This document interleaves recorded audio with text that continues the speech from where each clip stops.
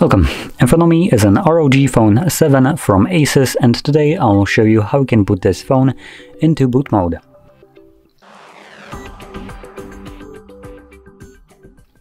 So to get started you will need to hold your power button and select power off. Now when the device turns off, hold the power button and the volume up at the same time, which will boot us into boot mode.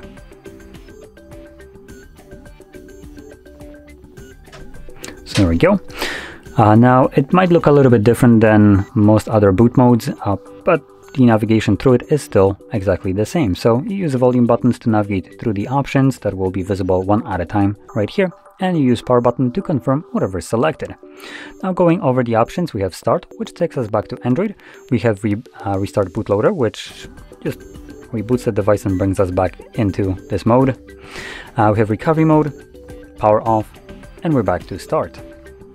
So I'm gonna now confirm this uh, start, which like I mentioned before, takes me back to Android.